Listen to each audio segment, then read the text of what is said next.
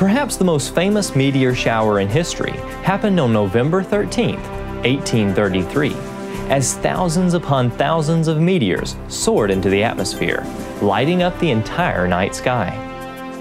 It was visible across the eastern United States and was such a spectacular sight that an eyewitness stated some really thought that the Judgment Day was at hand. The meteor storm had such an impact in the South that it sparked a historic song stars fell on Alabama.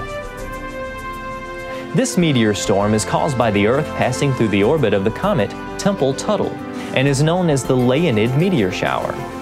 It can be observed every year in November with a normal rate of a dozen or two visible meteors per hour. But on occasion, we're treated to hundreds or even thousands. Leonids are known for their bright shooting stars.